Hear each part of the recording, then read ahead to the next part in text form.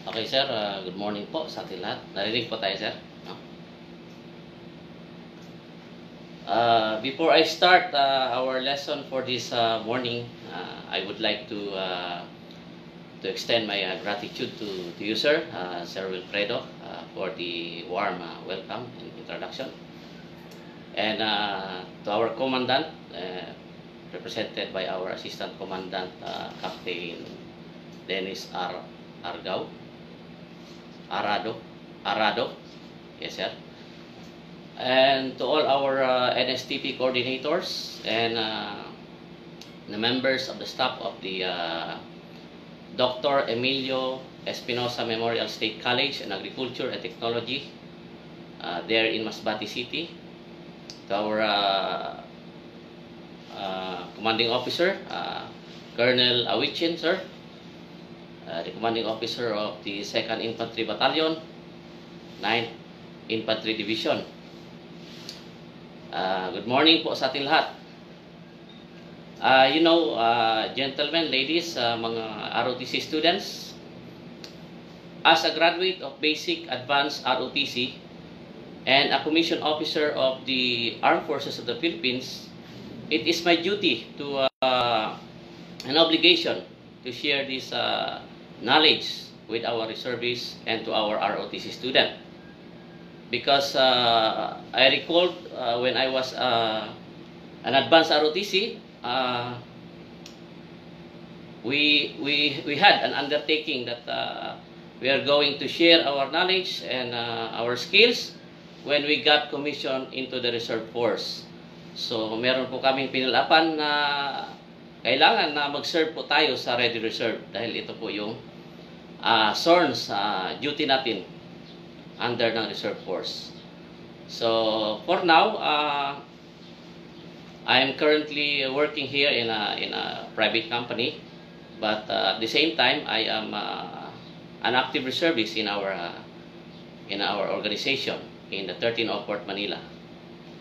So, I believe uh, may marami tayong mga estudyante, 5506 CDC po ba ito, sir? Yes, uh, sa mga RO, yes, 506 CDC at sa mga students natin ng mga ROTC and reservists. So, Reserve Force Development is one of the four areas uh, of the RRA. So, meron po kasi itong apat na mga areas. No? Yung RRA, Reservice and Retirees Affairs. Ito yung Reservice Affairs Administration. Ito yung uh, Reservice Public Affairs, Reserve Force Development, at yung uh, RMD. No? But uh, today, we are going to focus on the reservist organization or the Reserve Force Development. So I have here my uh, PowerPoint. Uh,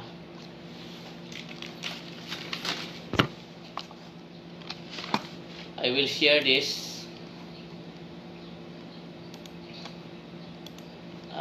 Hindi mas ma-share.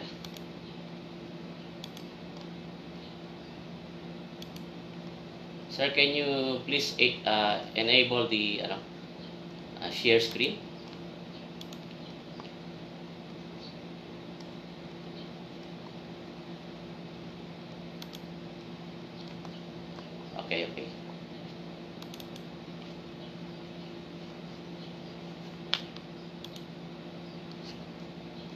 Well, uh, as a background of our uh, topic for this uh, morning, uh, before the creation of the uh, of the uh, Republic Act 1777, uh, the Philippine history to, has told us the experience that we had during the Spanish era, like the Battle of Mactan, the foreign invasion be- that began uh, way back uh, 1940s or before that. So the calamities that uh, we have experienced And uh, like uh, the Bagyong Yolanda in 2013, the Ondoy no, in 2009, and other disastrous uh, events that took place in our country. Because of those aftermath and uh, devastations uh, that took place in our country,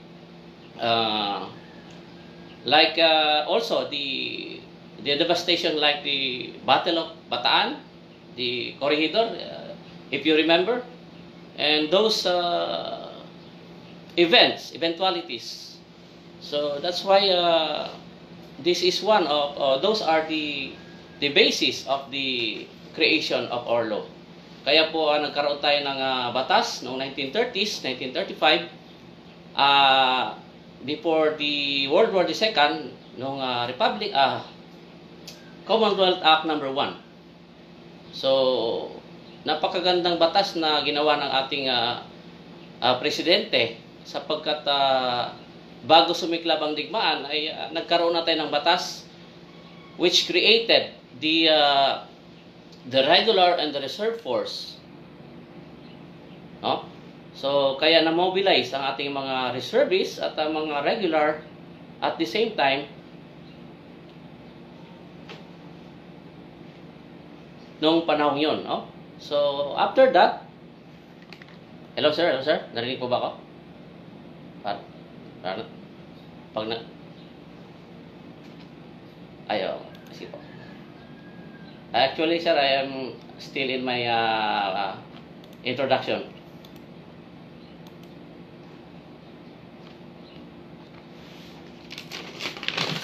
Makita. Wait lang, sir. ah. Ari, this is my first time to uh, to be in this uh, lecture like this, sir, uh, online. So, kaya medyo kumak nangangapapatay sa soup.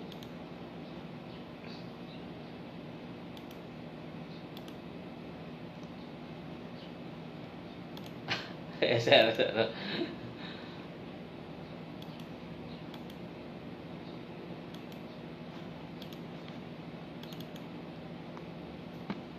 Hello, sir. Nandiyan na, sir? Kita na, sir? Okay. So, number one, or uh, our topic for this morning is about reservists and reserve force development. So, noong 1991 ay uh, ni-restructured ang ating uh, ang ating uh, national defense at uh, in-enhance ang ating mga mga units, regular and reserve through this Republic Act 7077 which focuses on uh, the reservist organization. No? So, our scope for this uh, presentation is uh, number one, the definition of terms, uh, sources of reservists, categorization of reservists, classification of reserve unit, degree of readiness, mobilization in case of emergency, and letter G, components of reservists, uh, benefits of reservists, and I, requisites of, for promotion. And letter J, the four functional area, no? Which is uh, the supplement, no? Uh, dagdag na natin. So, definition of terms. Career course. So, career course pertains to the course required for progress, career progression, basic and advanced, which provides AFOS such as infantry, armor, artillery, quartermaster, signal, engineer, finance, ordnance, service.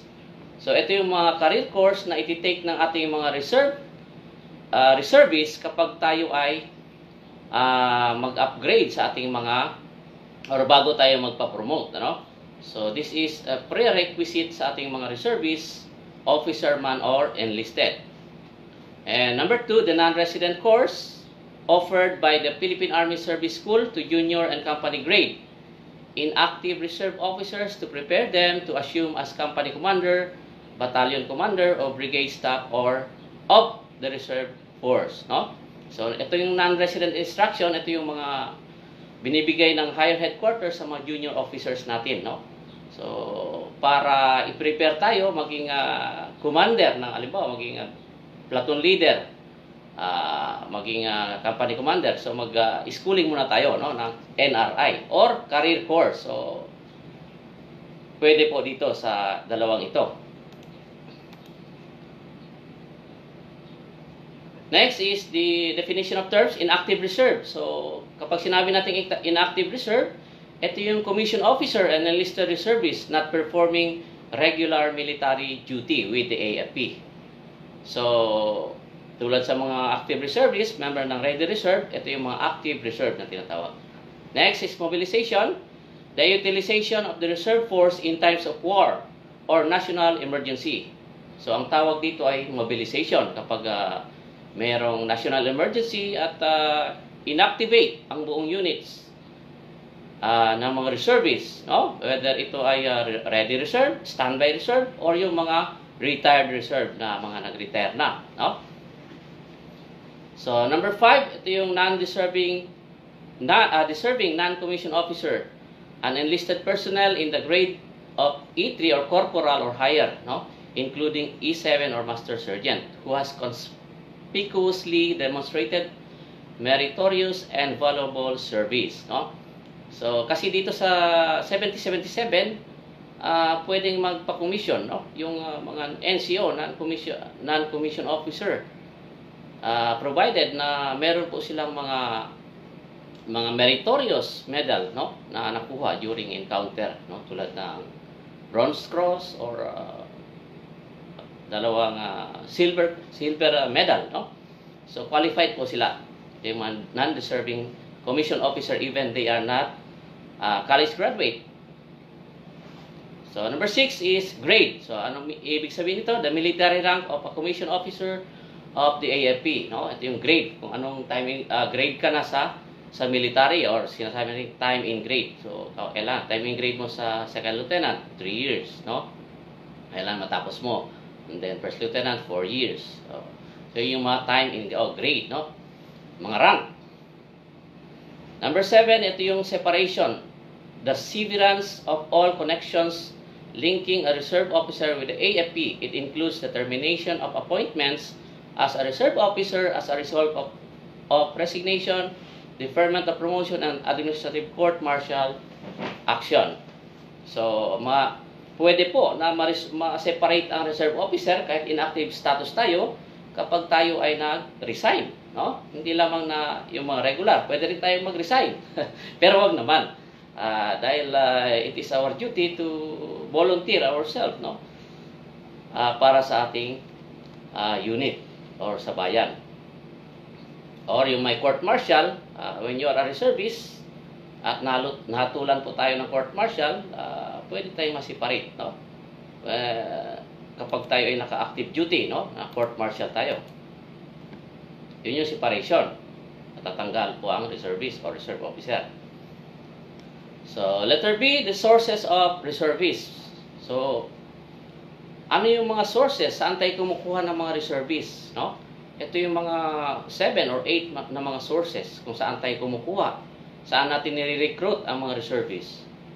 So, citizen soldiers alternately referred to as reservists who compose the reserve force are those reservists of the armed forces of the Philippines who are incorporated in the reserve force. No? So, as follows. Number one, graduates of the ROTC Basic and Advanced course or yung mga POTC, no?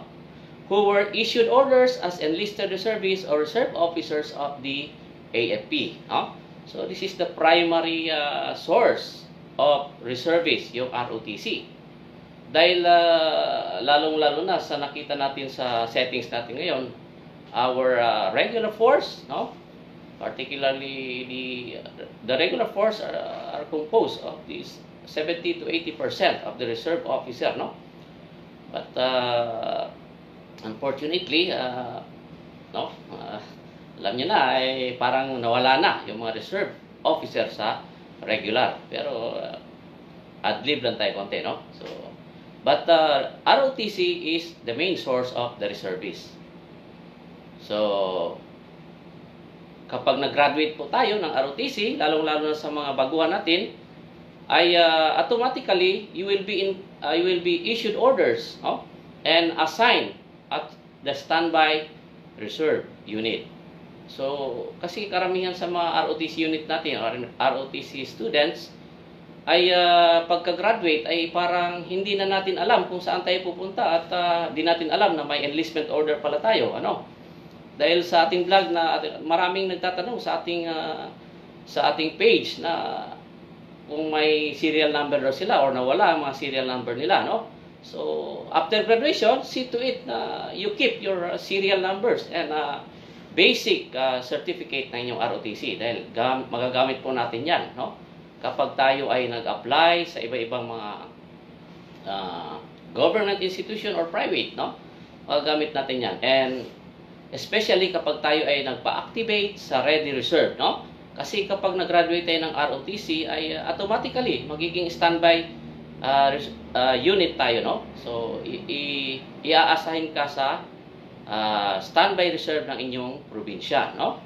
So, pwede tayong magpa-activate, pwede tayong maging active reservist kapag natapos na tayong mag-aral ng ROTC. Kapag graduate ka na ng 2 years or 4 years, no? Kasi uh, yun po ang uh, utos or uh, encouragement na ginagawa ng ating uh, Philippine Army, no? Uh, ng SOP ng Philippine Army na after graduation ay pwede na kayong magpa-incorporate sa Ready Reserve or sa mga active reserve units tulad ng Ready Reserve, no? Para kayo, kayo ay ma-issue ng uh, active duty training, no? Para ma-enjoy nyo ang inyong mga mga benefits bilang reservist, no? At makapaglingkod tayo ng uh, voluntary sa ating bayan. So number two, yung uh, source of reservists, ito yung mga graduates of the Authorized Basic Military Training Instruction or yung mga BCMT, SBCMT, who as a result thereof were issued orders as enlisted reservist or reserve officer. No? So kapag hindi ka po graduate ng ROTC, ay pwede ka pong kumuha ng SBCMT. Halimbawa, eh, may edad na po tayo, no? Ah, hindi tayo nakapag-aral, mga uh, out, out of school youth, no? Pwede po kayong kumuha ng SBCMT or yung Basic Citizen Military Training na kinakandak ng ating mga kanya-kanyang mga community defense center, no? So, pupunta lang po kayo doon at uh, magpa-register at dalhin ang inyong mga requirements, no? Mga clearances. So, doon po nila ibibigay yung mga checklist para kayo ay makapag-apply ng reservist at magiging member kayo ng Ready Reserve, no? So, maganda ang pagiging reservist at marami maraming uh, binibigay ng mga benepisyo ang ating government, no? Maraming hindi nakakalam dito. So, para sa more information, pwede kayong uh, manood sa ating uh, Facebook page, no? Citizen Armed Force Advocate. So, doon po, andun marami akong videos doon regarding sa reserve force, no? Mga benefits, mga advantages ng pagiging reservist. So, yan po. So, ang SBCMT naman, ito yung tinatawag na Special Basic Citizen Military Training. So, ang pagkakaiba ng BCMT sa SBCMT, ang SBCMT ay uh, kinakandak ng or ini-initiate ng mga local government, no? Supposed to be, uh, it is the uh, mandate of the local government to to uh, initiate the SBCMT, no? Because it is provided in the Republic Act 7077 that every two years ay kailangan po na magpa-register ang lahat ng mga lalaki na hindi reservist. No? 18 to 25 ng mga out of school youth, ng mga hindi reservist. So, compulsory po yan dapat. No? So, wala na po akong nakikita maliban sa iba, uh, mga iilan na mga mga local government na nag-i-initiate para mag-conduct ng registration sa kanilang probinsya uh, para sa mga hindi reserve, no? So, ito ay para sa lahat ang pagiging reservist. Kaya kung tayo ay able-bodied person, pwede po tayong mag uh, mag uh, sumali sa ating uh, reserve force, no? Hindi lamang ito ay paghanda sa sa sinasabi nilang laban or calamity, no? Tinuturoan din tayo dito kung paano tayo magiging patriotic, no? Or makiki, mag, uh, paano tayo maging makabayan. So, yan, yung mga benefits dyan, eh, plus-plus na lang, no? So, number three, yung ex-servicemen and retired officers of the AFP and other armed forces. So, marami ay yung mga nagtatanong sa atin na paano sila mag-pa-incorporate, uh, saan sila magpa-incorporate. Mga ex-military, no? Kapag kayo, tayo ay graduate, ah, kapag tayo ay uh, retired na sa service, uh, whether kayo ay officers or not, uh, you must be incorporated in the Ready Reserve Unit, no? Kasi after ng after ng uh, retirement or discharge po natin ay uh, ina-assign po dapat tayo sa mga standby unit, no? So, kapag nasa standby unit ka or wala kang unit, pwede kang magpa-incorporate sa Ready Reserve Unit. Pumunta lamang po tayo sa mga CDC or sa mga RCDGs natin or sa mga uh, reserve centers na tulad ng AF ng Air Force, Navy at uh, Philippine Army, no? At yung uh, APRESCOM, iba rin 'yon, mga technical service, no? So, pwede tayong uh, pumunta doon, mga ex-servicemen sa three branch of service natin, uh, major branch of service, para magpa-incorporate. Dahil lamang natin ang ating mga enlistment order and honorable discharge dapat tayo. Okay? So, kailangan, ay wala tayong kaso. Eh, kung may kaso man ay dapat na-solve, ano? Para pwede tayong mag-incorporate sa ready reserve units natin. So kung saan ka nakatira ay doon ka magpa-assign no or magpa-incorporate, doon ka mag-render ng uh, as a citizen soldier or territorial soldier no. Uh, dahil sina, sinasabi uh, this is, the other term of the reservist is the territorial soldier. Dahil uh, ang isa sa may control dito dapat ay yung uh, local government no territorial tayo kapag in case of emergency ay uh, matatap tayo ng ating local government. So, the next is the recognized World War II guerrillas who were honorably discharged from the service. So, palagay ko wala na to ngayon, ano? Yung mga veterano natin na nakipaglaban sa mga Japanese noong World War II. Uh, dahil ang uh, source natin na ito ay noong 1991 pa, no? Republic Act 90, uh, 70, 77, 70, 77. So, meron pa siguro nabubuhay ngayon, mga World War uh, guerrillas, pero matanda na siguro, no? So, eh, sila yung isa sa mga sources ng reservists. Number 5, commission and non-commissioned officers under affiliated reserve category. No?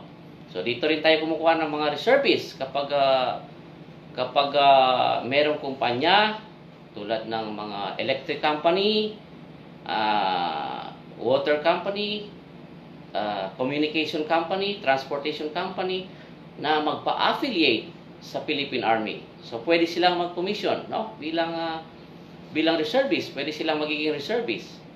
Lahat ng mga key personnel and technical personnel doon ay pwedeng i-enlist, no?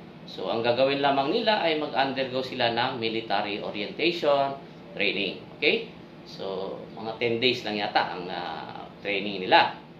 Kapag ikaw halimbawa ay member ka ng uh, ng water company, no? Ikaw yung executive. Uh, pwede kang uh, maging commanding officer ng uh, ng uh, PAARO or affiliated reserve, no? Diyan sa inyong area, no?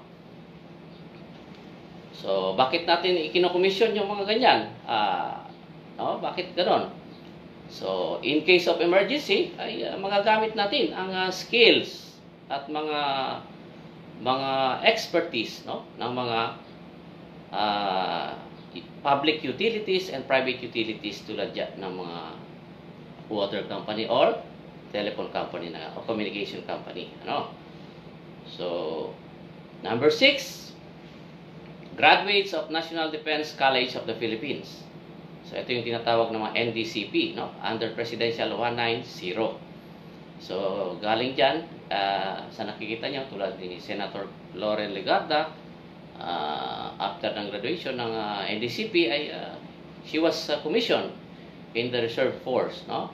As uh, lieutenant colonel. Kapag graduate ka po ng NDCP ay uh, makukomisyon ka na lieutenant colonel, no? At may uh, title ka na, Master of National Security Administration. So, yun yung NDCP. Number seven, commission, non-commission officers, and privates under existing laws, including those procured under Project 36, 37, and included in the present AFP roster before the enactment of the Republic Act 7077, and those to be commissioned or enlisted after the enactment of the said act. No? So, 36 and 37, Project 36 and 37, doon yung mga dating mga member dyan, yung mga ah, affili- affiliated reserve din ito, no? Noong panahon ni Marcos. So, doon, yun, yun din sila yung mga isa sa mga reservists, no? Mga affiliated din yan. And uh, those to be commissioned or enlisted after the enactment. After 1991, kapag merong magpa-commission, tulad ng sinabi ko kanina, so mga member po sila, magiging sources po sila ng reservists natin. So, number 8, kung saan tayo kukuha ng reservists, ang sources ng reservists ay disbanded or honorably separated members of uh, the Philippine Constabulary, ano? Kasi yung PC ay uh, member dati ng uh, AFP, ano? Nung uh, may mga mga enlisted enlistment order sila galing sa AFP. So, therefore, kapag uh, wala na sila at gusto nila magpa-incorporate sa Red Reserve, ay pwede nilang dalhin yung mga enlistment order nila uh, sa Philippine Army, no? Community Defense Center para kayo ay magiging member ng Ready Reserve, yung mga Philippine Constabulary dati na may serial number sa PC, no? Ganun din ang mga CAPGO or mga CAA natin. Kapag uh, kapag ang CAA natin or mga civil active auxiliary ng military ay uh, na, na discharge na or uh, na deactivate na, no? Ang unit natin ay uh, pwede tayo magpa-incorporate dahil marami sa mga kapko nagtatanong sa atin paano sila magpa-incorporate no? Yung iba napapadpad sa iba-ibang lugar at gustong mag-active uli no? Ganun din ang mga reserve mga ROTC natin. So huwag niyong iwala yung mga documents nyo no kasi ang isa sa mga kinakailangan talaga ay yung uh, tawag nito enlistment order no at yung discharge order kung meron kapag kayo ay dating uh, serviceman. No? At CAPGO. So, kasi ang CAPGO considered po as reservist, no? So, may serial number po sila galing sa RSCOM. Uh, reserve serial number, no? So, yan po ang mga CAA at uh, kung gusto nyong magpa-incorporate kasi after ng termination ng uh, CAA or uh, kapag wala na kayo sa service, ay dapat ma-incorporate dapat kayo sa standby reserve dyan sa province nyo, ano? So, meron din tayong mga proseso paano mag uh, paano lumipat, no, ng uh, standby reserve to uh, ready reserve. So, hindi lang po tayo basta-basta nalilipat.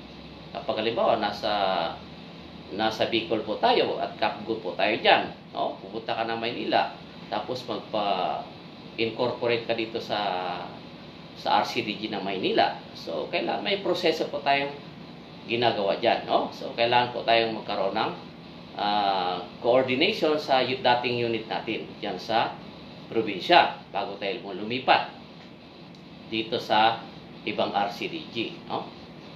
So, yan po ang mga sources ng reservists. So, punta tayo sa category categorization of reservists or citizen soldiers. So, ang reservists ay sinasa tinatawag nating citizen soldiers or territorial soldier. So, first category reserve composed of able-bodied reservists whose ages are between 18 years and 35 years inclusive. No?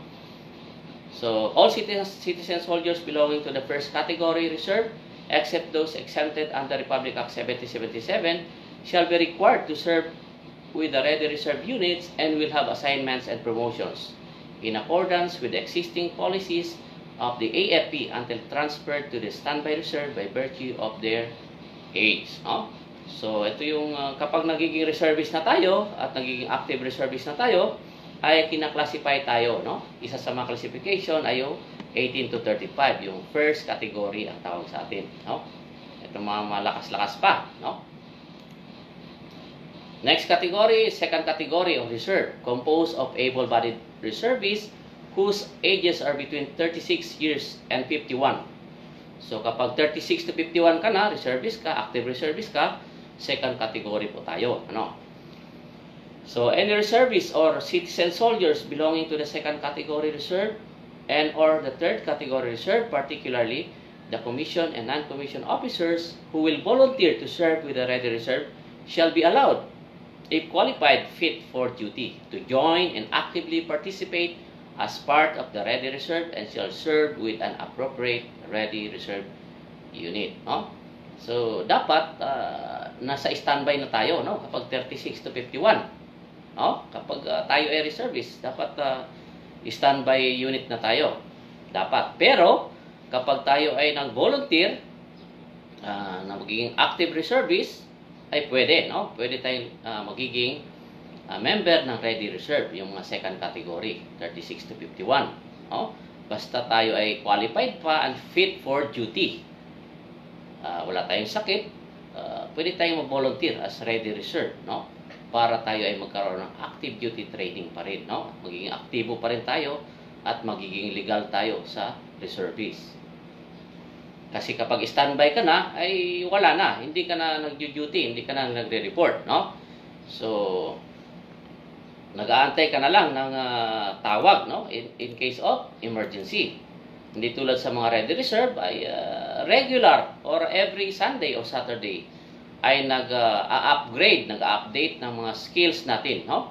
Nagti-training tayo, ah, nagkakandak ng training ang higher headquarters, Philippine Army, ng iba-ibang mga enhancement training, no? Para in case of mobilization, in case of emergency, ay mabilis tayong ma ah, tap or matawag ng ma-call to active duty ng ah, higher headquarters. So, next is the uh, next classification is retired. No? The retired reserve shall be composed of citizen soldiers who have qualified for retirement through length of service or old age or disability.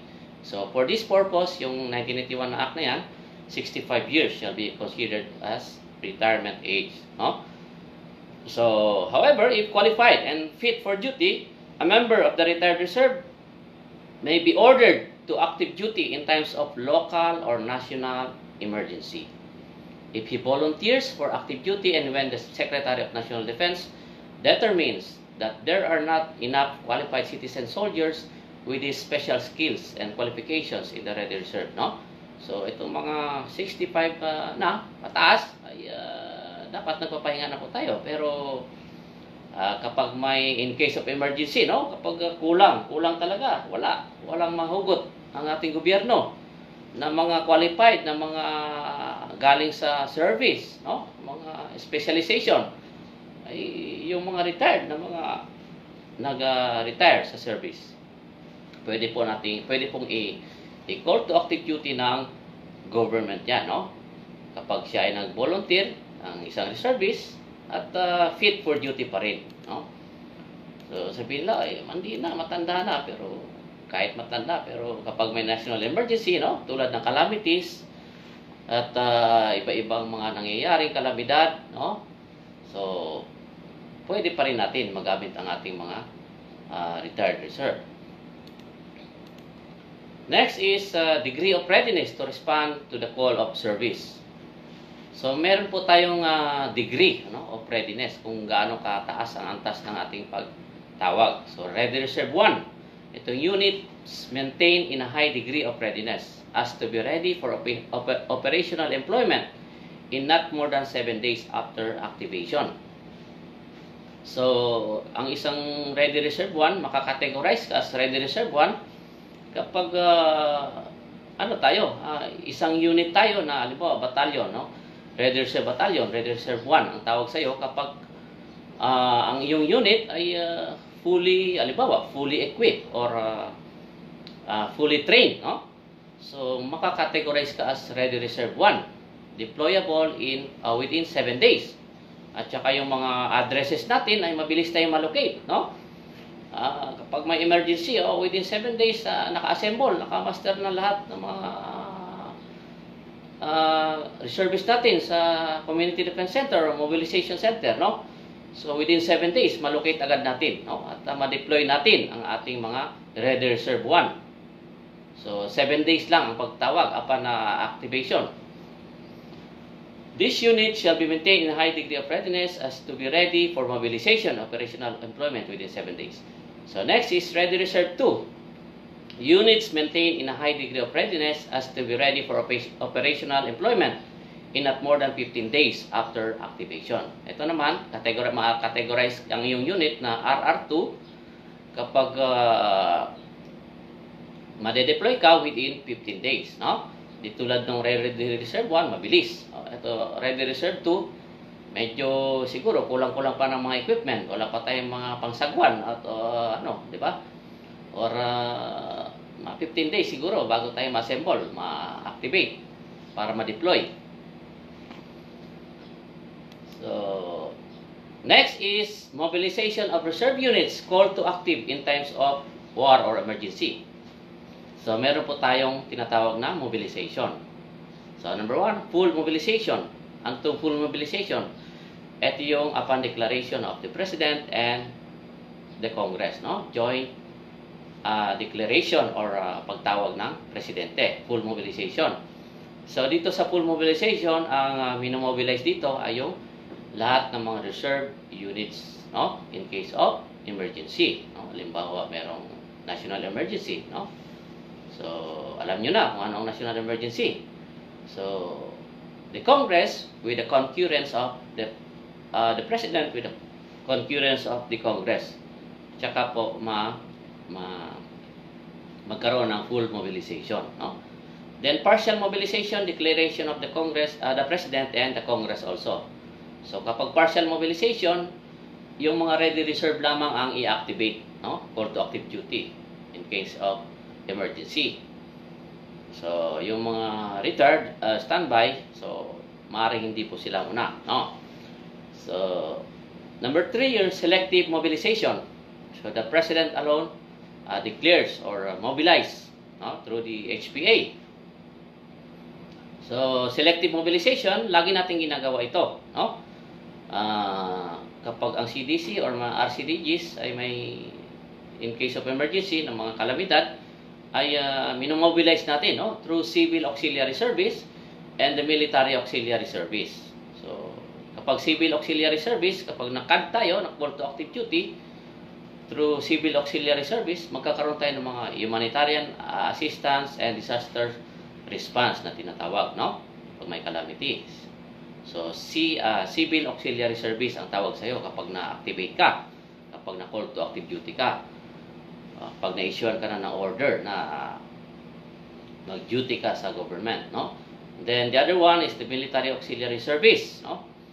So, ito yung isa rin dito, yung mga kapgurin, no? Mga CAA, kapag mayroong uh, kapag mayroong uh, uh, insurgency or uh, what call this, kung ibang mga kaguluhan, ay uh, ginagawa na naman natin yan, no? Mayroong mga auxiliary, military auxiliary service natin. Next is the component of the reserve force. So, meron po tayong uh, limang components ng reserve force. Ito yung uh, the Army Reserve Component, the Air Force Reserve Component, and the Navy Reserve Component. And the, number four, the AFP-wide Technical Reserve Component. And the five is the Affiliated Reserve. No? So, tayo, bilong tayo sa Philippine Army or RSCOM. No? So, kapag gusto mo mag-reservice sa Air Force, uh, meron din silang reservice doon. Ano? Sa Navy, meron din sa Naval Reserve Command. At kung gusto mo rin mag-reservice uh, sa APRESCOM, yung sa mga technical reserve unit, kapag ikaw ay doctor, or uh, halimbawa, nurse, uh, professor, or veterinary, so dito ka sa AFP-wide Technical Reserve Component, no? Doon po sa Camp Aguinaldo. Kapag uh, uh, ordinary or reservist tayo, o Army, dito sa mga RSCOM or uh, CDCs or RCDGs, no? So kapag uh, gusto mo mag-reservice, uh, kapag ikaw member ng company, uh, dito sa affiliated reserves, no? Yung sinabi ko kanina, yung mga mga public utilities, public and private utilities, no? So sila yung tinatawag na affiliated reserves. So sa ngayon nakikita natin ang settings yung RSCOM para mayroon na rin affiliated reserve, no? Yung APRESCOM meron din. So ini-incorporate sila, dito sa mga apat na to. So, next is the organization of each component of the reserve force and the manpower of objective of each component shall be as prescribed by the national by the Secretary of National Defense and approved by the President. So, the organization, structure, manning, and equipment of reserve units shall conform to the organization of the regular force. No? So, ang re- ready reserve ay uh, mini-mirror natin no? Ang uh, regular force. Kaya meron tayong mga battalions meron tayong mga brigades no? Kung anong meron regular force meron din po ang reserve force. Kapag meron silang mga kung ano yung nasa TO or uh, table of organization nila ay ganun din po yung sa reserve force no? So inaano na natin yan ginagaya na natin no So, reserve units of the battalion type or equivalent shall be organized on the provincial basis, and reserve units of the brigade and division type or equivalent on regional basis. No? So, kaya sa bawat probinsya, halimbawa ay dyan sa atin, sa Masbate, ay meron po tayong RR units, no? ready reserve. Sa isang probinsya, mayroong isang batalyon. No? So, kapag ah, region na, so ano na yan, ah, meron tayong ah, equivalent yan na division or uh, brigade ng Ready Reserve. The organizational structure and maintaining of the affiliated reserve unit shall be prescribed by the National uh, Secretary of National Defense, no? So, the old organization, ito yung mga Ready Reserve Battalion, no? Sa province. And division kapag uh, sa region naman, no? So, ngayon, parang ito na yung bago ngayon, eh. Ah, pero hindi pa masyadong na-emphasize to eh. Yung ah, Ready Reserve Battalion Task Force, ang tawag na, no? Ah, di ko lang alam diyan sa inyo, sir, kung ano lang, anong tawag na sa batalyon ninyo diyan. Ganito rin ba? Oh, ganun na rin pala. So, kasi yung nag-pandemic kasi, medyo hindi ako naka-report ng masyado. So, ito na yon no? Yung RR Battalion Task Force and RR Brigade Task Force na ang tawag. Dati, RR Battalion, Red Reserve Battalion. No? Ngayon, Task Force na tayo. So, next, punta tayo sa benefits system of reservists.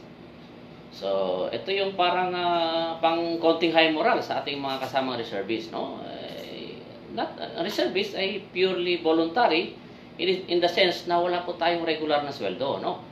Pero, uh, nag-duty tayo para sa ating bayan. Pero may binabalik din naman, no? Ang ating government kahit papaano. So, ito yung nakapaloob. Number one, security of tenure in government or private employment while on military schooling. No? So, kapag kayo ay ah, nag-schooling sa reservist, at na-call to active duty ba o nag-i-schooling, ay ah, meron pa tayong security of tenure. Ibig sabihin ay ah, hindi po tayong pwedeng ah, tanggalin no, ng ating kumpanya kung saan tayo nanggaling. At ah, kasi nagre-render po tayo ng ng ah, military duty natin, no? Protected po tayo ng Republic Act 7077. Pero karamihan dito ay hindi alam, no? Sa mga company natin. Siguro kailangan siguro magkaroon tayo ng ah, information drive, no?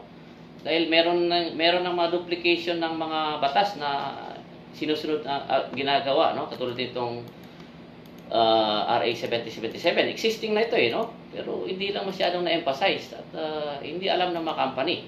Pero sa ibang bansa, alam nyo ba, ay uh, sa, tulad sa US, kapag ka tayo ay nag-render ng military duty, ay uh, meron pa rin silang sahod, no? At uh, hindi sila tinatanggal ng, uh, ng kanilang uh, company kapag sila ay nag-render ng military duty sa ah, government. No? Halimbawa, ay nagtatrabaho ka bilang factory worker. Eh, tapos, eh, nag-active duty ka sa reservist, sa reserve force, o sa reg- o, nag-render ka, no? Tinawag ka ng government. Dahil ito ay compulsory. So, hindi ka pwedeng dapat na tanggalin ng ah, company, no? Nasa, nasa ano yan? Nasa Republic Act 7077. Section, na nandiyan po sa mga section, di natin matandaan kung anong section, pero may security of tenure po ang reservist. Number two ay retention for maximum hospitalization. So, reservist or draftee who is injured or contract with disease or sicknesses while undergoing training and service not due to his intentional misconduct, willful failure or neglect, or vicious or immo- immoral habits shall be retained beyond the period of his reservist or draftee service. No? So, kapag tayo ay nadisgrasya, no, magkakaroon tayo ng hospitalization benefits. Pwede tayong gamutin ng ating mga Army Station Hospital or mga tulad sa Biluna, no, uh, uh, medical center. So, pwede tayo doon. Kapag tayo ay member ng Ready Reserve or Active Reserve tayo. No, kapag uh, tayo ay galing sa duty or during uh, training or after ng training, tayo ay uh, nadisgrasya or nasugatan o na-confine, so entitled po tayo, no? So he shall be entitled to subsistence allowance also and hospitalization benefits are available to the members of the regular force who are patients in the armed forces hospital, no? So kung ano yung mga entitlements ng regular force ay ganun din po para sa mga reservists kapag na-disgrasya, no? Ah, libre ka rin ng ah, kain doon, no? Subsistence allowance, no? Ah, so, for the information of everybody, no? So, next is number three, awards of ranks and assignments to reserve units of graduates of ROTC, no? Graduates of ROTC shall be given an enlisted rank and serial number and assigned to res- reserve units and mobilization centers in their province. The ranks to be awarded shall be from private to sergeant or its equivalent. No? Kapag kayo ay nag-graduate, ay ah, bibigyan kayo ng rank ng ah, ng ah, RCDGs natin, no? From private to sergeant, no? Kapag ah, maganda-gandang accomplishment mo or halimbawa ay battalion commander ka or ah, corps commander ay bibigyan ka ng rank at least sergeant. So, yan po, no? I-assignan ka ng rank at i-assign ka sa mobilization center, no? Sa standby reserve habang hindi ka pag-graduate. Next is the promotion and appointment. So, the promotion similar to those prescribed for the regular force. Officers in the inactive list shall be eligible for promotion to the next higher permanent grade subject to the following conditions. So,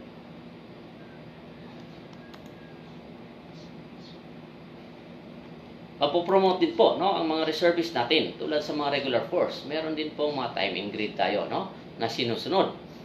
So, halimbawa eh private ka no. So, after ng uh, one year ay uh, automatically mapopromote po tayo ng PFC. Pero ipapile po natin no. So, hindi ibig sabihin na ah mapopromote tayo ay hindi na tayo mag-asikaso sa ating mga papers, no? Tulad ng mga sinasabi ng iba, dapat automatic daw. Kailangan ipapile pa rin natin, no? Kasi pag hindi natin ipapile, asikasuhin ating promotion, ay uh, hindi tayo mapopromote, no? To the next higher rank. So may mga requirements po yan, may mga checklist po tayo na susundin at ipapasa para tayo ay mapromote. So isa na yon yung ah, annual active duty training natin, no? Tuwing Sunday nang nagre-report tayo or Saturday. So, yung career course na sinasabi ko, ah, yung kukuha ka ng apos mo na infantry or ah, cavalry, no? mag-schooling tayo para ma-promote tayo. O, katulad din ng regular force. So, ganun din ang ginagawa nila. At yung time and grade, no? halimbawa, second lieutenant to first lieutenant, so 3 years. So, kailangan makumpleto mo yun, yung time and grade din.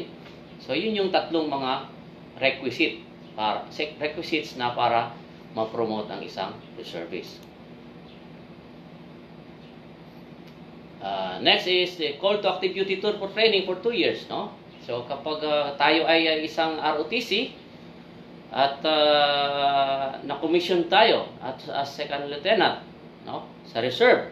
So pwede tayong ma-call to active duty tour for training, no? For 2 years. So magkakaroon po tayo ng pay and allowances at mga uniforms. So, full-time duty po yun within 2 years, no? So, tulad nung nangyari sa atin, no? Uh, I was called to active duty for 2 years. No? And I enjoyed also the pay and allowances from Philippine Army, no? So, kung ano yung mga sweldo or mga entitlements ng isang uh, regular force, uh, regular member ng AFP, ay ganun din po ang matatanggap ng mga galing sa mga ROTC na uh, reserve officer ng mga teniente or commission officer. So, number six benefits is the program trainings. No? Kapag uh, reservist na tayo, ay, ay may mga enhancement trainings tayo na kinakandak sa loob ng uh, RCDGs or CDCs. No? So, yung iba dyan ay mga, may mga allowances. Merong mga subsistence allowance po na binibigay. No?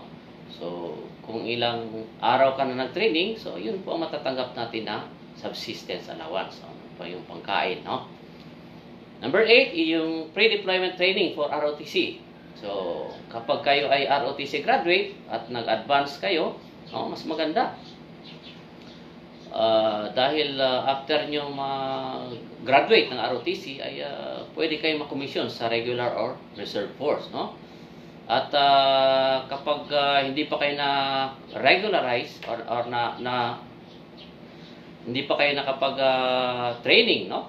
Pwede kayong mag, uh, magiging ano, magiging uh, ROTC uh, instructor, no? Yung mga reservists natin na may mga kakayahan, ay pwede tayong magturo sa mga state colleges and universities at mag-undergo tayo ng pre-deployment training for ROTC instructor. So, number 9 is the career schooling, no? Tulad ng sinabi ko kanina, uh, in career schooling, uh, 3 months po ito, no? Yung mga cavalry, infantry. So, para meron po tayong APOS, no? Na tinatawag, yun yung uh, Armed Forces Occupational Service natin, no? Kung ano yung mga major natin, no? Kasi sa EFP, meron din tayong mga parang major. Uh, uh, infantry ka ba, no? So, sanay ka sa, ano, bilang uh, sundalo ng infantry or signal corps, no? AGS, Adjutant Service, uh, General Services. So, yun yung mga parang mga major natin, no? Occupational service natin. So, pag uh, nag-under ko na nun, ka na nun, ay meron kang mga entitlements, no? May mga sweldo. Halimbawa, kung first lieutenant or second lieutenant, kapag nag-career schooling ka, nag-undergo ka ng schooling, so kung ano yung sweldo ng first lieutenant sa regular force, Ganun din sa atin, no? Halimbawa, eh, 40,000, tapos may mga allowance pa, subsistence allowance, uh, mga mga instructor duty pay, meron pa yan, no? So, kapag nasa CADTT tayo, no?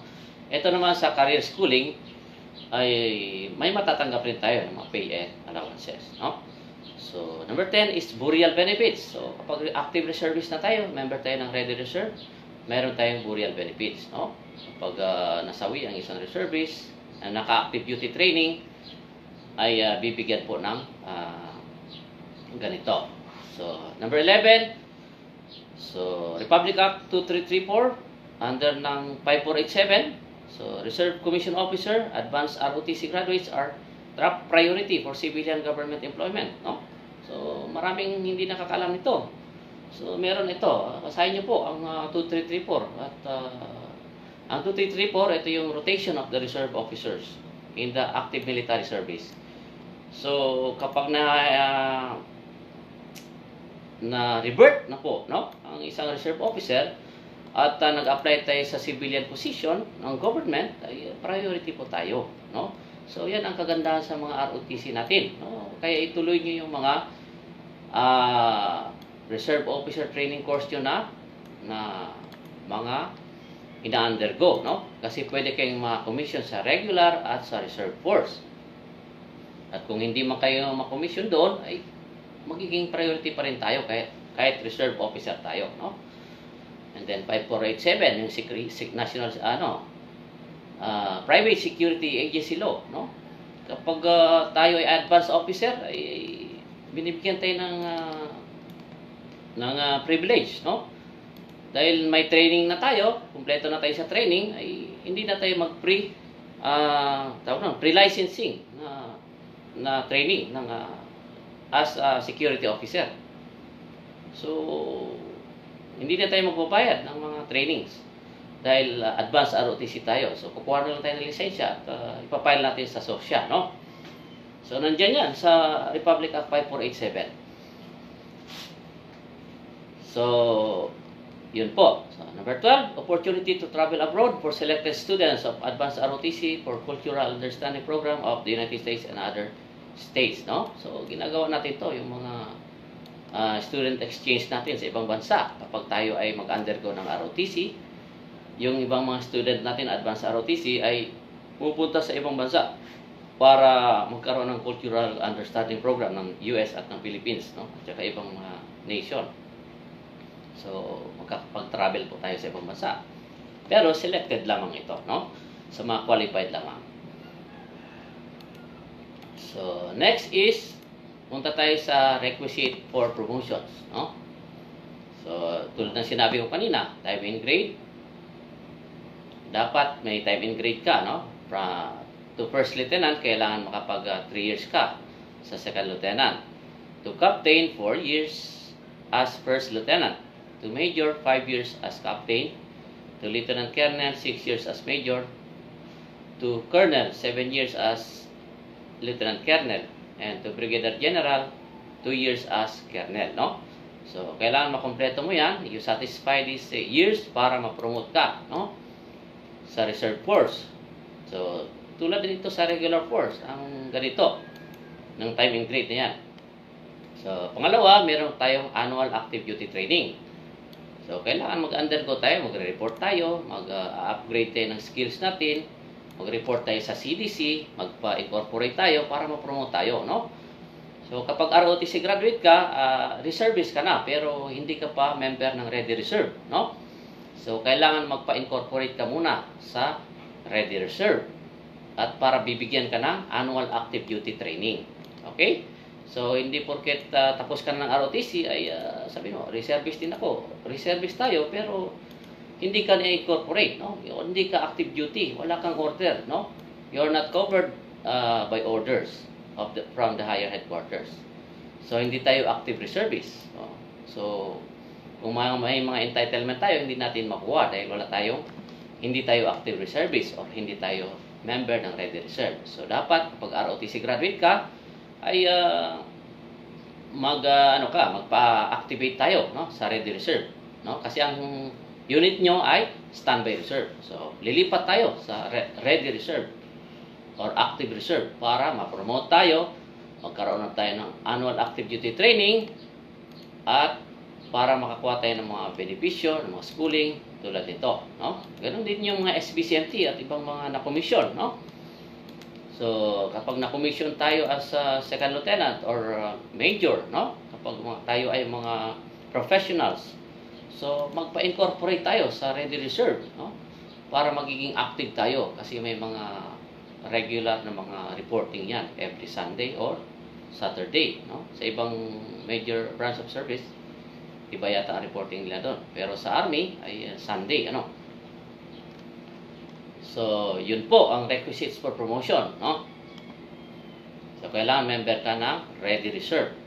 So, kapag ROTC ka lang, ah, sergeant ka, hindi ka ng Ready Reserve, so hanggang dyan ka lang, hanggang tumanda ka, no? Hindi ka nagpa-activate.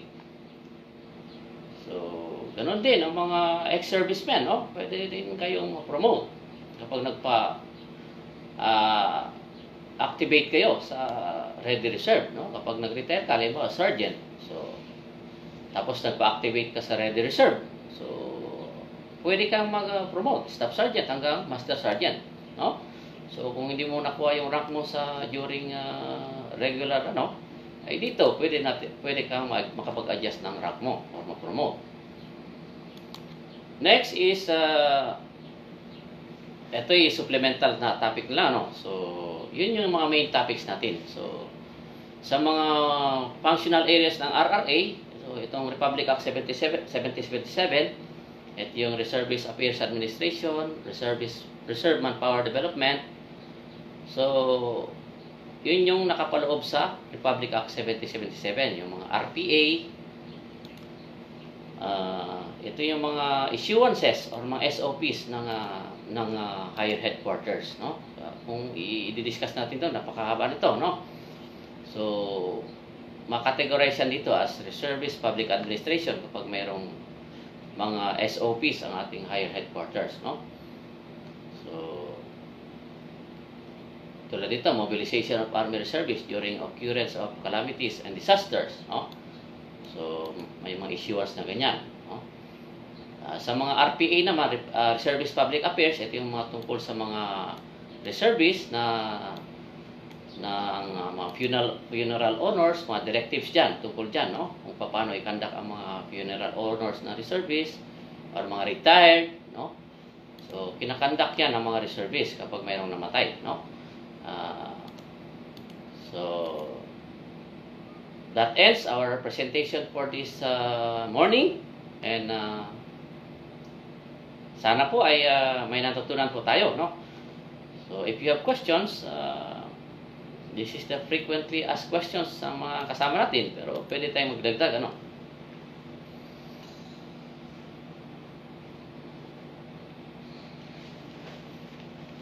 Okay po, sir. Sige po, sir. Okay po.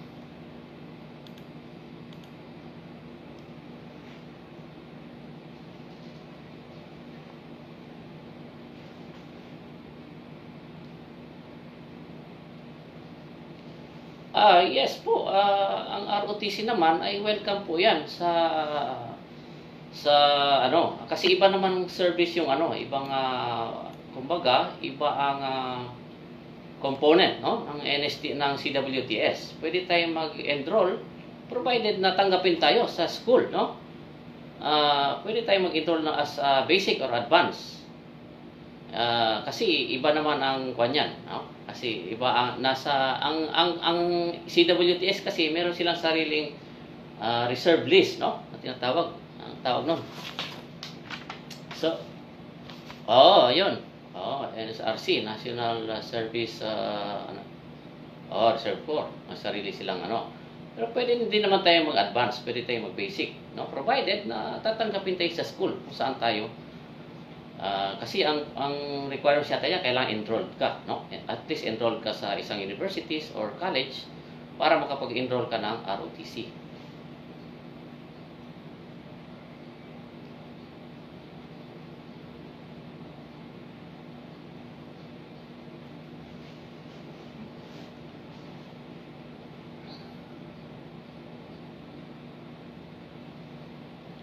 Ah, upsat po, sir?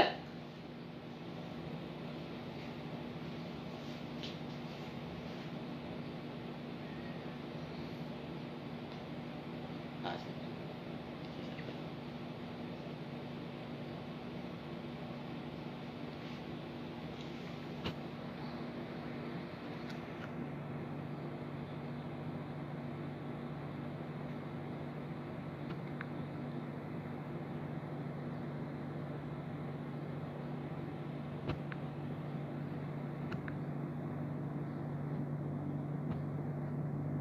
Hello po, hello po.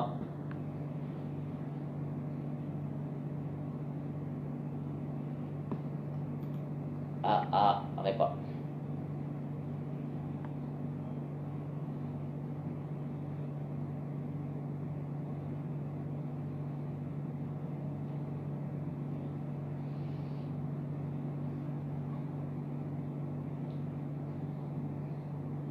Yes, sir.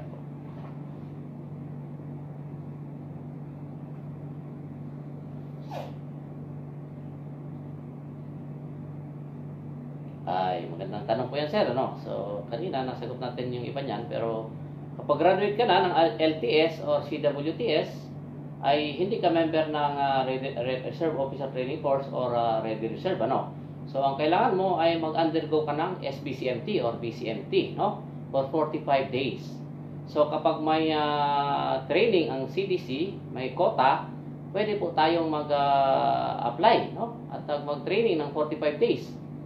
Ah, in 45 days BCMT, ah, entitled po tayo sa mga ah, subsistence allowance at uh, uniforms niyan, no? So, meron pong ini-issue yan kapag ah, program po ng ah, Philippine Army.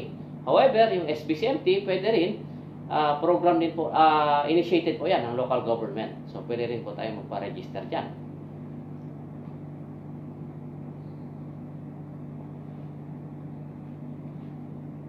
Ako po. Yun po.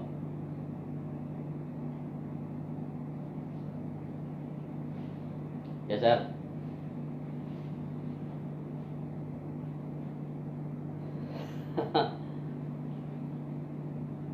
Yan, yes, sir.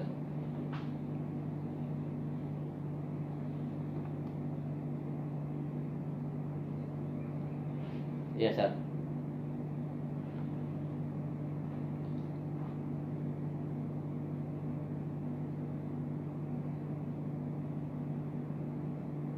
Yes, sir. Yes, sir. Yan po talaga ang uh, dinesign po talaga ang ah, Republic Act 7077 para maging ah, volunteer, no? Yung ating mga ah, citizen na mag-undergo ng training, no?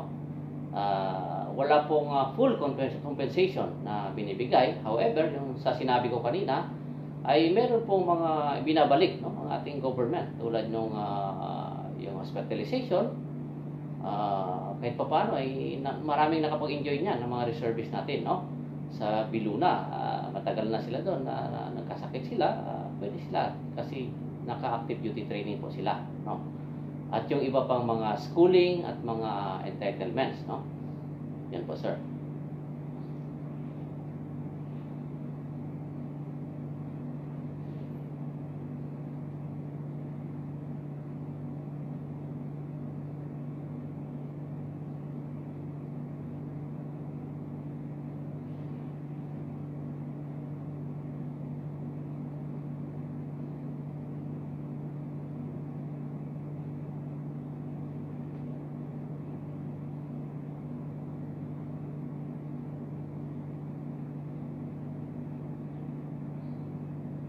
Yeah.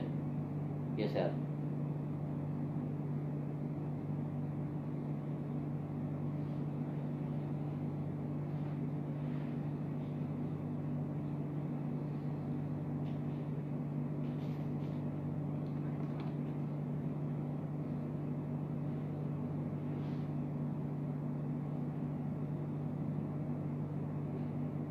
Okay po, sir. So, sa mga professionals or sa mga gusto pong magpa-commission, no? Sa reserve force, yung mga professionals natin tulad ng mga ah, teacher or mga 4 years course, no? Any 4 year course, pwede po. So, ang gagawin nyo lamang po ay ah, kailangan meron po kayong ah, eligibility, no? Pangunahin po 'yan. So, ano yung mga PRC o yung Professional Regulation Commission kapag teacher kayo or uh, yung mga ah, board exam, no? So, ipapile nyo yan or pupunta kayo sa Community Defense Center. So, doon po ang unang step. Pupunta pa kayo pupunta po kayo sa Community Defense Center or RCDGs sa higher headquarters. No? Doon nyo po isasubmit ang mga requirements. May mga checklist po sila doon na ibibigay tulad ng application for commission, ah, referral po para sa medical, mga clearances, kung anong ipupunin ng mga clearances, tapos yung mga ah, statement of service nyo po, no? So, nandun po lahat. So, isasabit po natin una sa CDC, no? Uh, huwag tayong mag-direct sa RCDG dahil ah, doon po kasi tayo i-assign sa mga mobilization center natin at sa mga batalyon kapag tayo ay na-commission na, no? So, doon po muna tayo sa CDC, Community Defense Center or sa mga reserve centers kapag ah, Air Force or ah, Navy nila, no? So, doon po nila ibibigay ang mga requirements. So, at least uh, meron kang PRC license or civil service, no? So, doon naman sa mga walang ah, license, pwede po kayo kumuha ng AFP Aptitude ah, Service ah, exam or APSAT tulad ng mga ah, deserving non-commissioned officer. So, mag-APSAT po sila para ma-commission sila as second lieutenant. Or yung ah, ibang mga ah, four year, no? Pwede naman yun. Ah, equivalent, equivalency, uh, valency yun ng PRC. So, pwede sila mag-take doon. Kaya lang, ah, pina-priority kasi natin yung mga mga nag-exam sa mga regular, no? Kaya, ah, konti lang yung quota sa mga pag, pag mag-exam tayo, kaya hindi na-accommodate masyado. So, yan po, sir, yung uh, natin. Para gusto sa mga gusto magpa-commission, no? As a second lieutenant, first lieutenant. So, depende po yan sa sa working experience niyo po, no? Length of service, kung anong ranko ang bibigay sa inyo.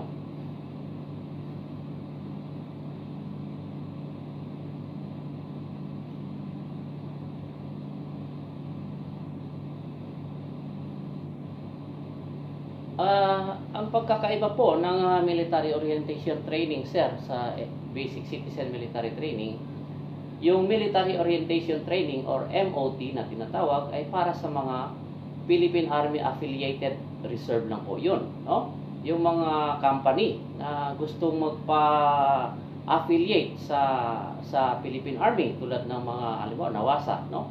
So meron po silang MOT or Military Orientation Training. I-orient sila kasi uh, pre-reservist training uh, commission po 'yon para ma-commission sila, no? At it- ituturo sa kanila ano yung reservist, paano siyempre paano magmarcha-marcha or ano, paano yung makuman lahat. So yun 10 days lamang po 'yun, no? Ang military orientation training. However, the basic citizen military training ay under ng ah, SOP natin ay 45 days po yun na kinakandak sa mga CDCs, no? Mga local sa mga CDCs natin ah, sa mga probinsya. Community Defense Center or sa mga reserve center ng Air Force or Navy, no? So, yun po sir, yung ah, affiliated reserve. MOT at sa SPCMT.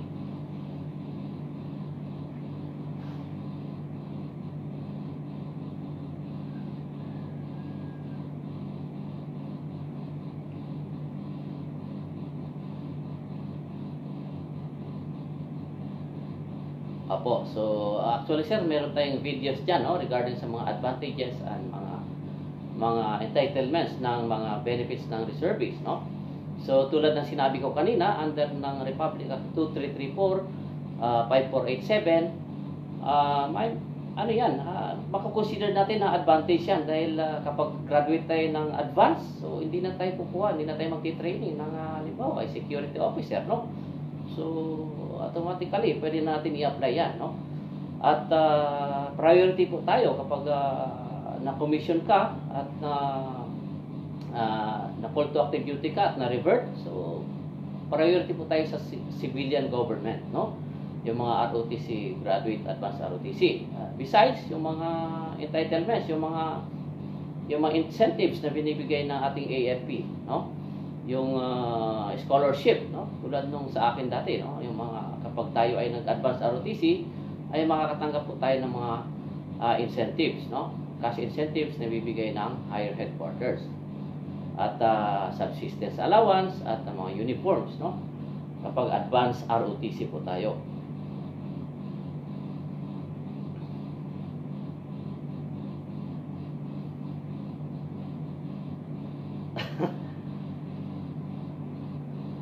Ah, ganun, sir.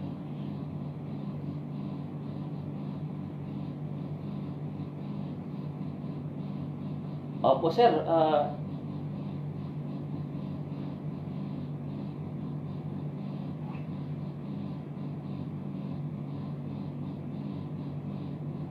yes, sir. Ah, tama yan, sir. Ah, nakaka-enjoy rin naman kapag tayo ay advanced officer o cadet officer, no? So, actually, oo, actually sir, yung, yung mga CCIE na yan, sir, ah, marami tayo sa Arestom na mga tulad nung sa class nyo pa na hindi pa nakuha. So, pwede po natin kukunin doon. May mga datis pa, 1990s, ah, na hindi pa nakuha yung mga POTC dati. Nandyan lang yun. Ah, pwede pa natin i-claim yun, yung mga entitlements natin dati sa probationary officer. So, after after ng advance, pwede po kayong mag ah, probationary officer training course at magpa-commission no, sa regular and reserve force. Dahil uh, isa pang mga benefits nito ay merong program, no? Yung OCC, uh, POT, uh, ROTC program ng ating government cancer na directly iko-commission na yung mga advanced ROTC na graduate kapag tayo ay ah, pasok pa sa age qualification, no? Sa 20 to 25 years old.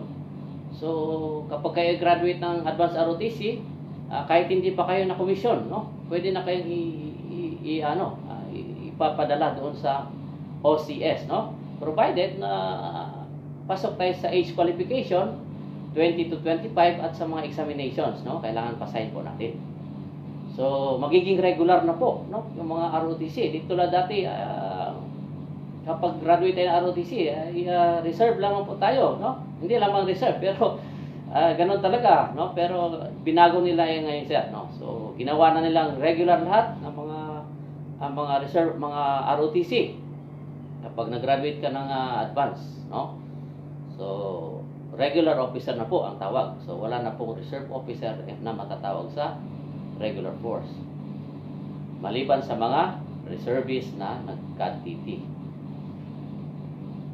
Ito po.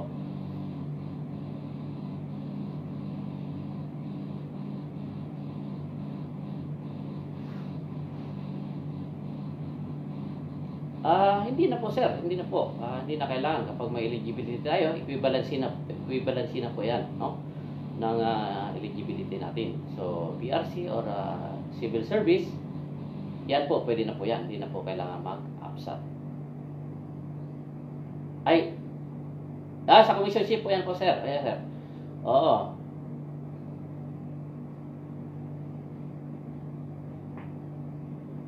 Ah, yan po. Kapag requirements, yes sir, requirement po yan. Kapag ah, magpa-enlist po tayo, ay kailangan yung uh, APSAT ah, exam, no?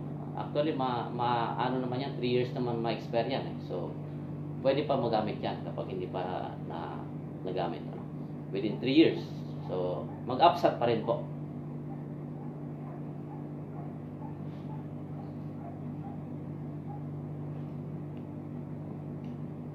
Yes sir, yes sir.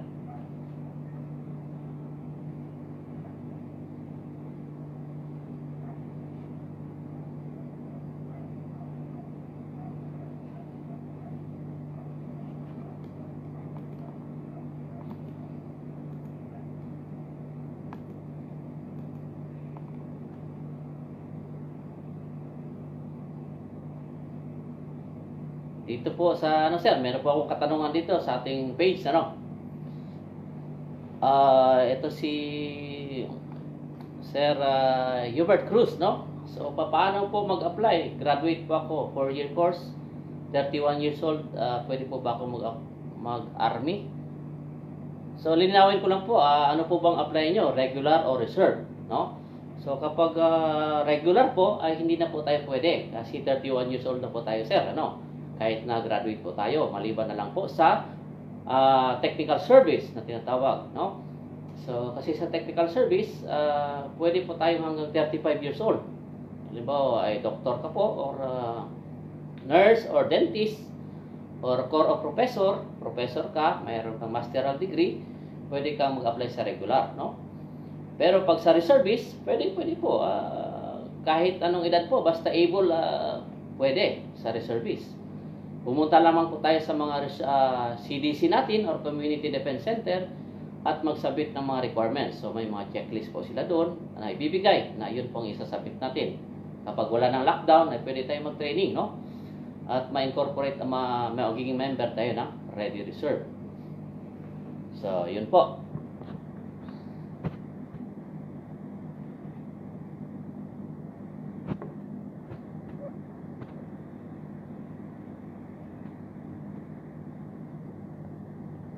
Yes, sir. Yes, sir.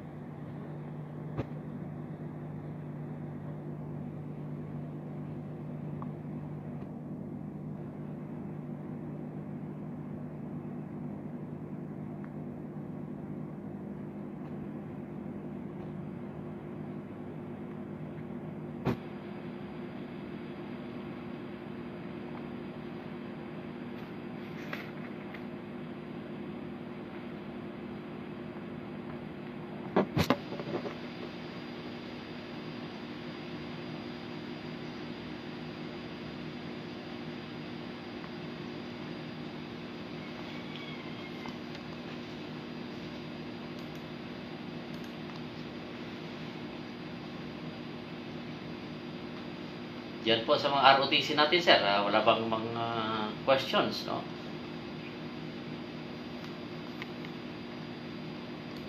So, may nagtatanong po dito, ah, paano po mag-apply ang senior high school? Graduation lang po. Ah, graduate po siya ng senior high school, no?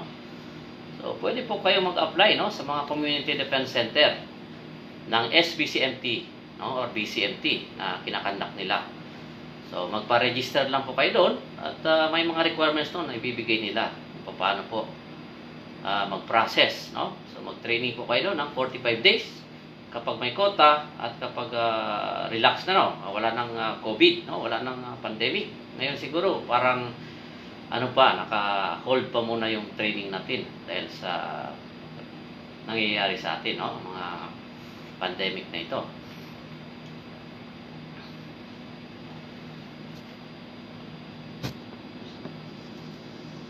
Sa saan po ba ang applyan ang Reserve Commissionship? Sergeant po rank ko after my basic ROTC 1998, my civil service eligible pa po at MBA graduate. Ano po ba ang requirements?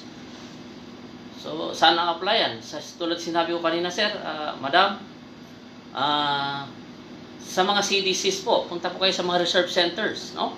So, hanapin nyo lang po sa inyong probinsya, yung mga Community Defense Center or RCDGs nyo. At doon po kayo mag apply Doon po nyo ipapasa ang mga requirements nyo para kayo ay makomisyon, no? Since meron po kayong ah, MBA, Master of Business pa to, no? So, pwede po kayong ma-commission as a captain to major, no? Kapag may masteral. Tapos, depende po sa ah, working experience niyo po.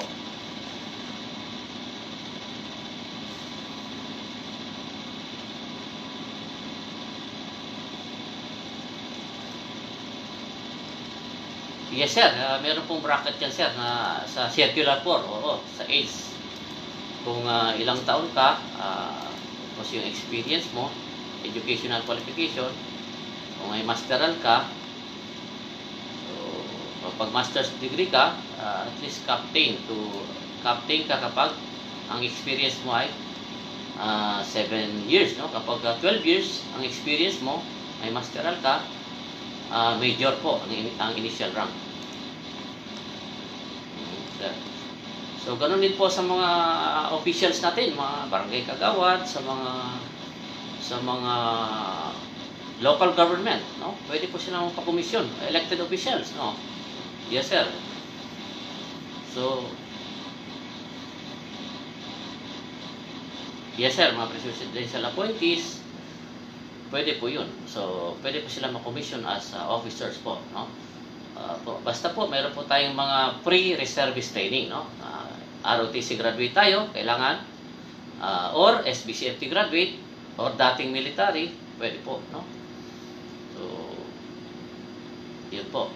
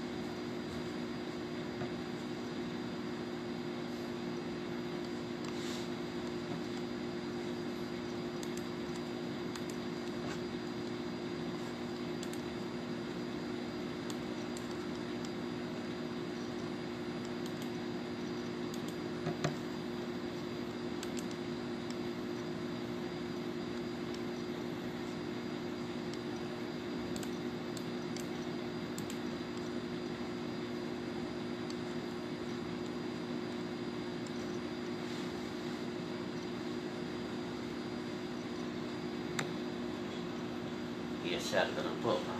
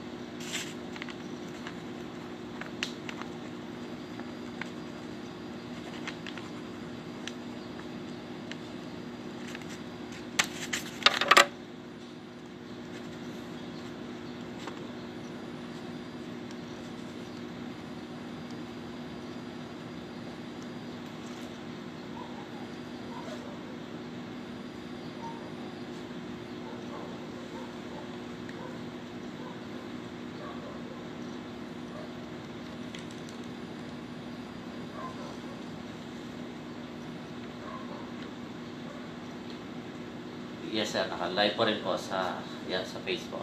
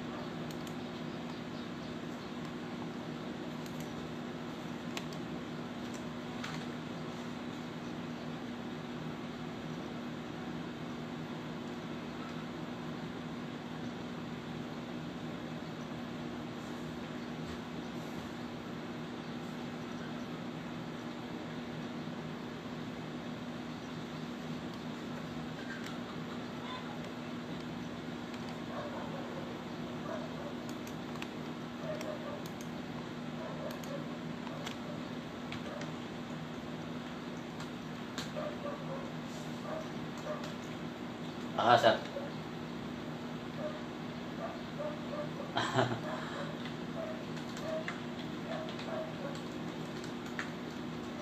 yes, sir.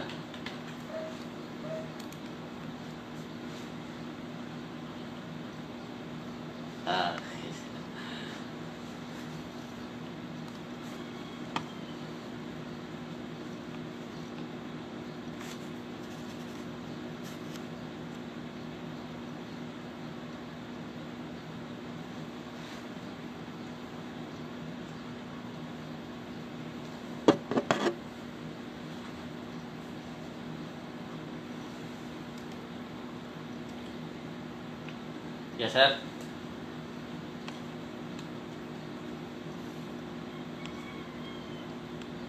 yes. Yes,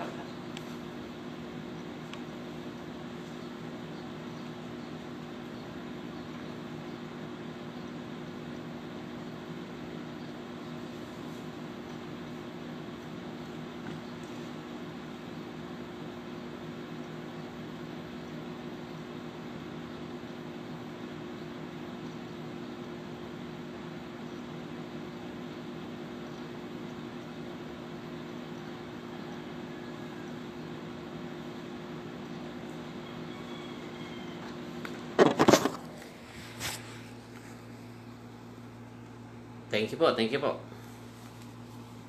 Thank you po.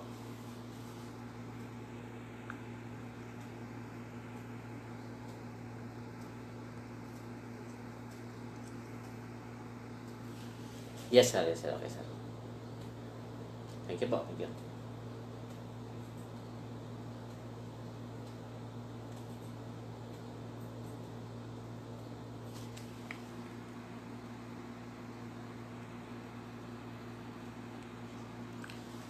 Yes, sir. Yes, sir. Ako off. Yung isa pala, hindi ko na off. Uh. Thank you.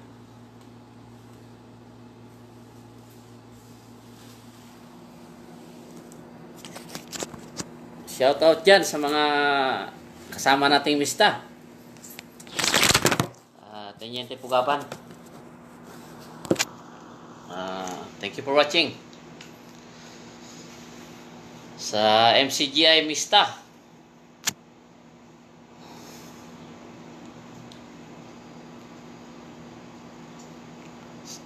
Uh, 1304 CDC. Uh, 9 RCD, uh, NCR RCDG.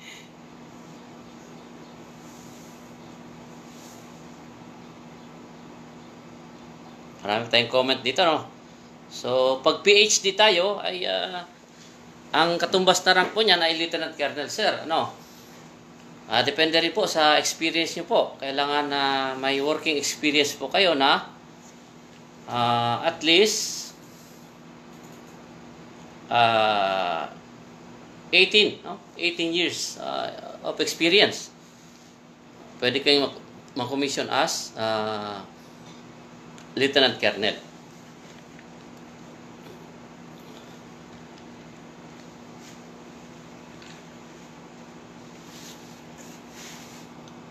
Six years pa lang po ang license with Masteral. Ah, paabutin niyo po muna ng ah, seven years, no? Para magiging captain po kayo. Tsaka po kayo mag-apply.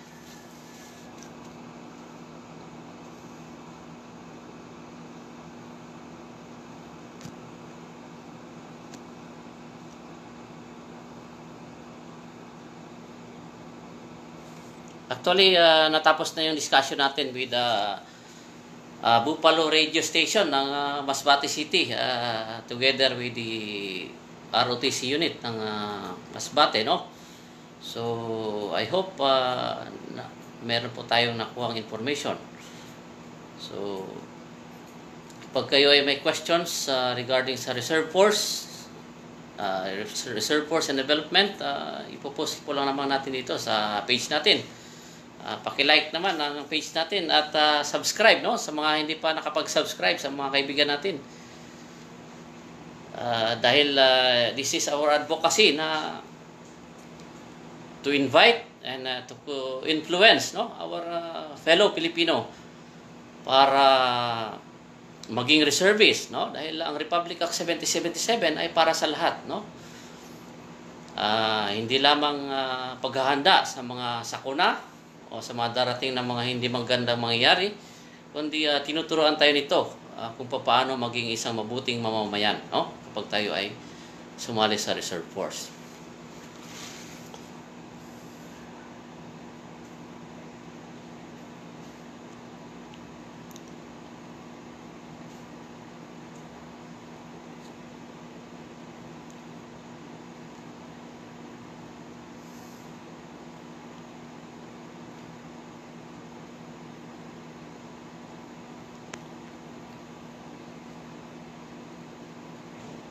Ah, natapos na po tayo ah, sa ating ah, discussion ngayon no? regarding sa reserve force and development at sa reservice. Maraming salamat sa atin, sa ating lahat.